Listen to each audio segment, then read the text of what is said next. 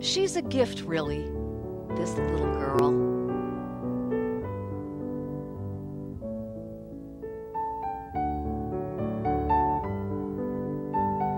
This gift arrives at a time when it seems gymnastics has lost its little girls. Maybe, just maybe, this little gift will give us what Nadia gave us. And maybe Nadia senses that too.